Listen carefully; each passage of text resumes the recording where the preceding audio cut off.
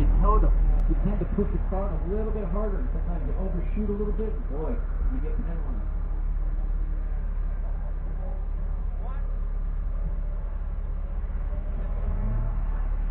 All right, next in is going to be the executive BMW 2003